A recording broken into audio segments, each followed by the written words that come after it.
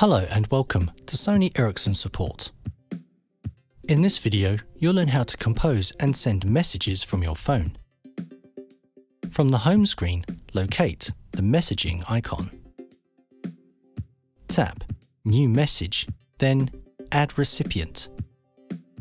Pick a contact from the list, or tap the Enter Name or Number text field to type in a number.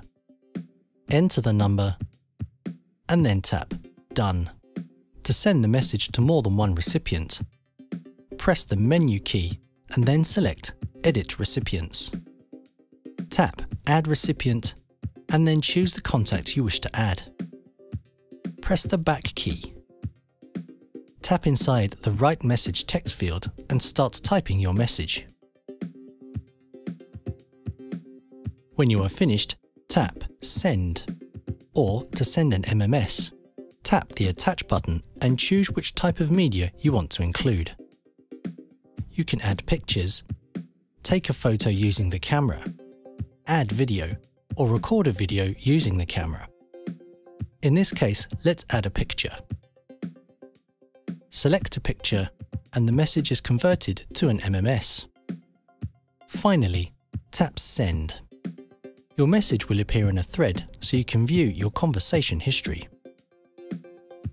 Now let's take a look at how to open an SMS. When you have received a new SMS, a notification appears in the status bar. A small symbol is also visible on the message icon.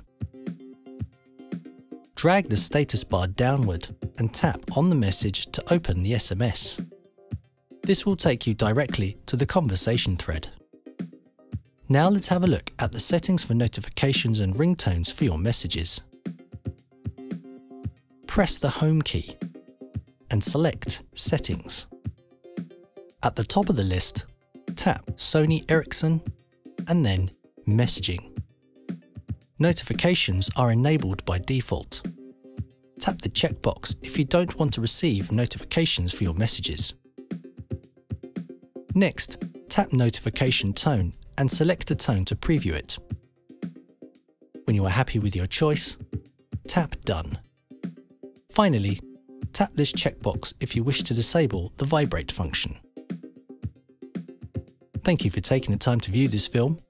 You'll find more information about your phone by visiting the Xperia X8 support zone, where you can improve your user experience.